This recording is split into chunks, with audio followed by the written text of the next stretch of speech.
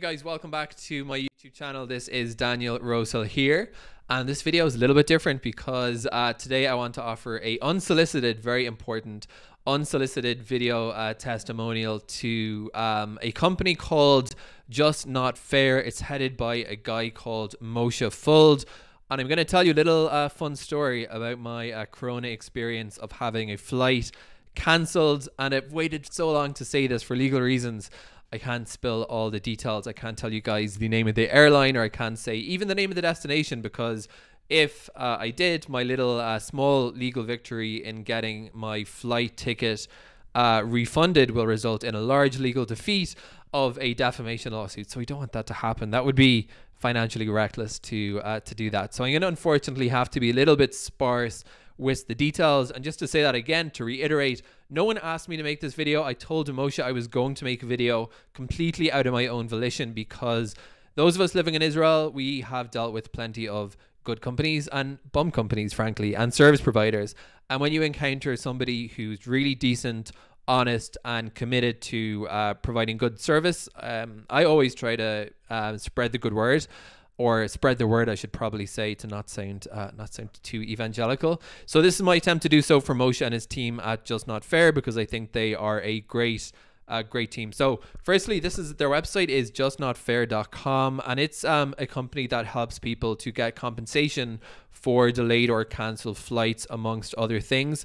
Uh, I'm on their website now. I assume Moshe has a good sense of humor because their, uh, their the, I'm just going to read a little bit of their text from their website. It says, Just Not Fare was founded to help the airlines get in touch with their deep seated desire to treat their passengers fairly and promptly compensate passengers when and as required by law. So after this experience, I didn't really, I wasn't really feeling that deep seated desire, I must say, on the part of this airline to uh, treat me fairly or be anything but absolutely horrible to deal with.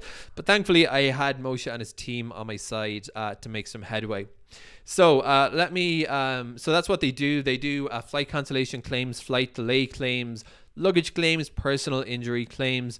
Moshe is based in Israel, so I guess he's especially relevant, or that's his client base. I don't know. I think he deals with people from other countries as well. But in any event, uh, whatever people say about these uh, lawyers who help you get compensated for flight claims, I found Moshe nothing but a pleasure to deal with. Okay, here's my sketchy story. I mean, sketchy because I have to not include details for legal reasons. A number of years ago when I got married, um, at my after my wedding, somebody bought me a uh, voucher for an airline, a gift voucher to use on flights.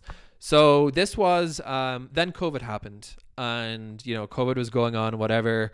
And um, just before the expiration date of this voucher, when you know the airport in Israel started opening up, um, I said, okay, let's book a flight the us being my wife and I. So we booked our flight to a European destination, and again, I can't say which because that would uh, spec- that would be pretty much the same thing as specifying the airline in this case. So we booked our ticket to a European uh, destination, and we were very excited about our upcoming trip to this destination. And then we received an email out of the blue a couple of months before uh, the flight. Fortunately, we hadn't booked our accommodation because that would have been uh, even more of uh, inconvenience. And it said your flights your flight's cancelled. And I said, "Oh, wow, that's weird. I've never got a." And I don't. It didn't specify the reason. The airline was still flying to this airport, uh, so I don't think it was COVID related. Maybe it was. In any event, I'm like, well, that's a bummer. Um, so I get in contact with their customer support, um, and I'm like, okay, so uh, here is my ticket. You guys cancel the flight these are the vouchers that I used to pay with the flight. Are you going to like reissue the vouchers? And basically, they refused to reissue the vouchers. The cost of our airfare was like vouchers plus like ten bucks or something like trivial. So I they refunded the like eight dollars to my credit card, but they refu- they refused to refund the vouchers. I had a feeling this was kind of crummy behavior because when you pay for something, even if it is Corona, you can't just like not honor your gift vouchers. But at the same time, I wasn't going to do anything about it. I told this story to a friend who had used Moshe at, uh, he came over to us for dinner one night and he said, You have to get in touch. It's worth getting in touch with uh, Moshe. Tell him your story. So I did. And he uh, on my behalf helped me to file a claim, a legal claim in Israel for the value of the gift vouchers that the airline refused to refund. Now, I am pretty organized. I had I had done all my sort of like evidence collection. I had screenshots, even videos of the live chat conversations, and sort of even the airline even was uh, I would say dumb enough to write me an email saying we agreed to refund you eight dollars. A gift voucher refund zero dollars. So it was kind of like black and white. Um, so anyway, so Moshe and his team, uh, the lady working with them, um, helped me to file a claim in the small claims court, which when it's in Israel is difficult. I've actually done it once before. Um, and he reassured me that he provided great advice, even though this was a non-Israeli airline, that it was possible to sue them locally for uh, for uh, the airfare plus uh, plus a little bit of damages.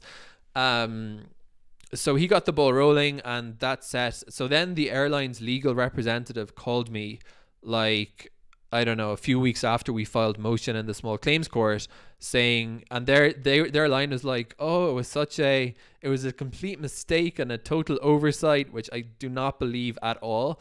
Um, I literally hounded them about this for you know the best part of six months, and no one offered a refund until just after we filed the lawsuit. So this is uh, if you're dealing with airlines, uh, particularly the ones with worse reputations for customer service, just know what kind of a fight you're in for. And I won't, I can't, I shouldn't uh, share the rest of the details about this, but it took a lot, it took a little bit more uh, hand wringing, but Moshe was there every step of the way to provide advice as to what to do and this culminated in us getting our um, getting uh, our money back essentially. The gift vouchers refunded in cash. The airline insisting until the end that there was a, some kind of a human error that went on and that was why. But again i don't personally believe this for uh, even half a second. So anyway i had a great experience dealing with just not fare. Um, the website i'll put a link to it in the description. It's just not fare f-a-r-e it's a play on words.com uh, Moshe and his team were great to deal with. And if you have been, for want of a better word, screwed over by an airline who are using COVID as an excuse not to uh, offer you your statu- statutorily required compensation, whether that's under EU law or whether uh, whether just under uh, national law, then it's definitely worth reaching out to them through their website. Super responsive, uh, super easy to deal with, and I had a good experience and I got my money back in the end. So there you go, guys uh, don't take it lying down from uh, from uh, crummy airlines and uh, reach out to Moshe and his team, and you will not regret it. Thank you for watching. More videos coming soon.